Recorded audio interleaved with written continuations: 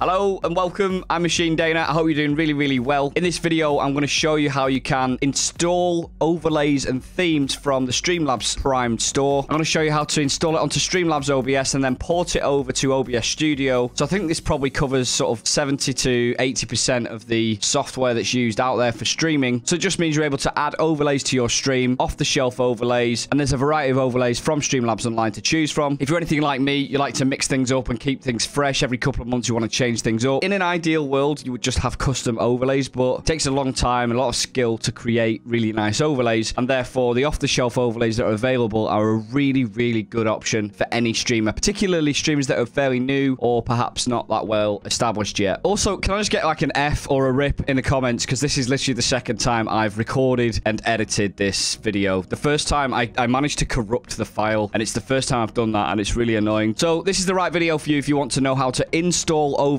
onto your stream, particularly if it's Streamlabs OBS or even onto OBS Studio, or simply if you're looking to just port over themes and scenes and sources from Streamlabs OBS to OBS Studio. I will link two videos in the description below which are purely about exporting from one software to the other. And the two videos are from OBS Studio to Streamlabs OBS and from Streamlabs OBS to OBS Studio. So if you want more detail on that part of it, just click the links in the description. As always, if you find it useful, give it a like. Feel free to subscribe to the channel. And if you want to check me out at twitch.tv forward slash machine Daena, feel free to pop in and come say hi. Let's do this.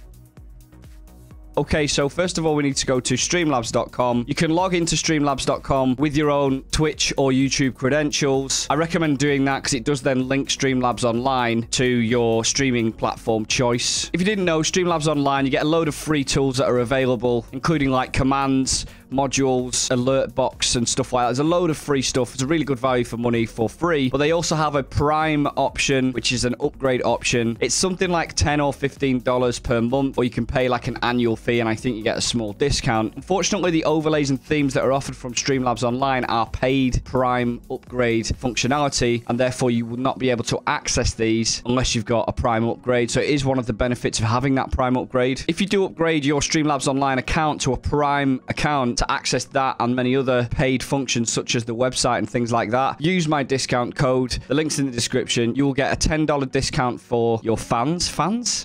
I don't know if fans is the right word. I think people just tolerate me, to be honest. And you'll get a $9 discount for the first month as well. So, yeah, free money for both of us, and it helps me out. So, thanks for that. So, you want to click on the stream overlays to get a feel for the different themes that are available from Streamlabs Online. It will open up a new tab for you. It's just located on the left-hand side here. But if you can't find find it, just type like overlays or themes or something like that in this search box and it'll find it. This section here, you're basically able to search for and browse their theme store. These are updated regularly. They're always kept fresh. You can filter by like a game category if you're looking for a particular sort of style. You can also sort by feature, just adding the most popular. And a nice feature that they've got is the filter section here. Allows you to filter by color, just in case you're looking for a particular color for your stream. Finally, you can also search specifically for a theme as well. When you find the one that you want, you can click into it. And there's an option here to install. One good thing about this is it does show you how many installs this has had already, which is quite a good feature. One thing to note about this is this purely the number of installations. Doesn't necessarily mean that there are that many versions of this out there on Twitch or YouTube already. People can install these and then use something else. They might not like it. It's purely just an install. Also, often what happens is people might install a theme just to take, for instance, the Stinger file or something like that. So normally the actual figure of people that are actively using this will be a lot lower than the number of installs you see there. When we click on install, it will ask to open Streamlabs OBS. We've already got it open. So what will happen here is it will just recognize that we've got it open. You've got the option here in the top right hand corner within Streamlabs OBS to install the overlays. There's like a native browser function within Streamlabs OBS. If you're on OBS Studio, you could still install this into Streamlabs OBS and then port it over to OBS Studio very easily. And I'll show you exactly how to do that in this video. While we've been talking there. That installation is complete. It typically takes a couple of seconds to install. And we've now got access to all of those assets, including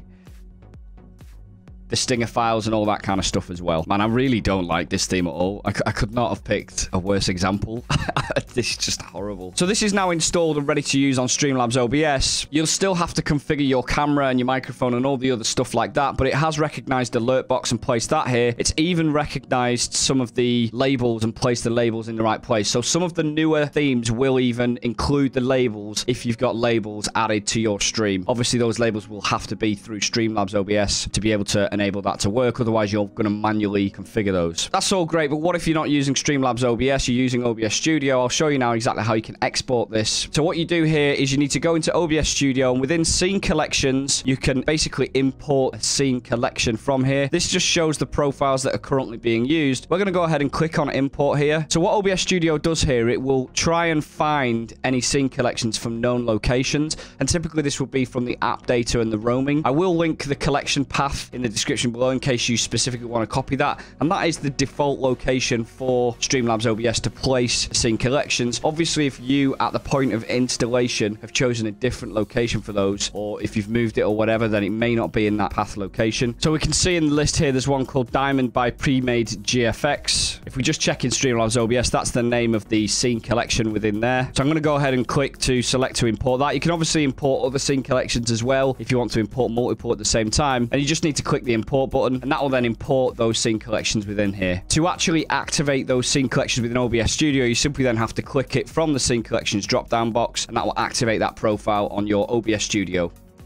So there you have it, how you can easily install new themes from the Streamlabs store. It doesn't take long at all, so this is a way to easily keep things fresh on your stream. If you found this useful, please give it a thumbs up. Feel free to subscribe to the channel. Let me know how you get on with this, and have a wonderful day. Don't forget to look after yourself, guys. Take care.